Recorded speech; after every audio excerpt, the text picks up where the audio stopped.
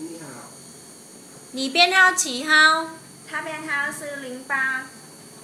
你去过台湾了吗？ Anh đi qua Đài Loan chưa? chưa他没有去过。你在台湾有亲戚朋友吗？ Ở Đài Loan có người thân bạn bè không? có Ta hiểu. 你会抽烟喝酒吗？ Anh biết hút thuốc uống rượu không? không Ta bú hơi. 你目前在越南做什么工作？ Hiện nay anh đang làm công việc gì? xây dựng Ta chưa xem chú cô.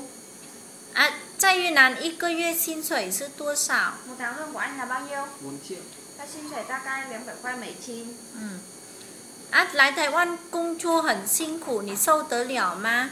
Đến Đài Loan làm việc rất là vất vả, anh có chịu đựng được không? chịu được Ta sâu tứa lẻo. 啊，如果在台湾工作，雇主要求你配合加班，你愿意吗？ Đến Đài Loan làm việc nếu ông chủ yêu cầu anh tăng ca anh có đồng ý không? đồng ý Ta愿意. 啊，你对今天面试的工作你有什么问题吗？ Ngày hôm nay phỏng vấn còn vấn đề gì nữa không? không 你都清楚了吗？ Anh đều hiểu rõ rồi chứ?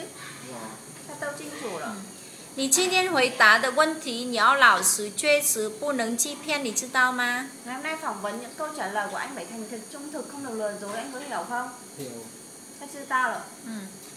啊，现在请你站起来提下包十次。 Bây giờ anh đứng dậy bê bao cát 10 lần.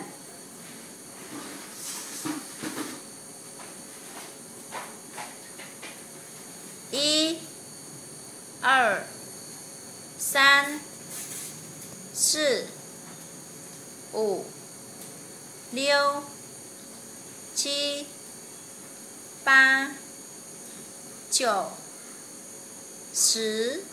OK，谢谢。OK，谢谢。谢谢